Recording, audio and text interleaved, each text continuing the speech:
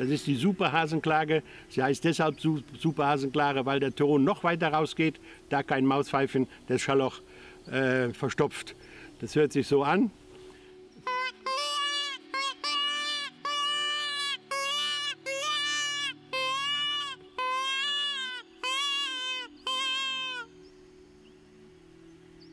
Ein Klang so echt wie die Natur.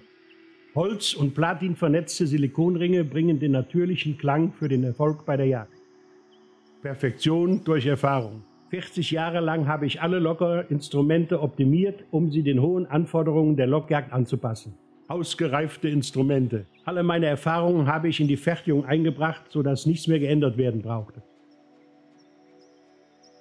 60 Jahre Lockjagderfahrung in ihrer Tasche.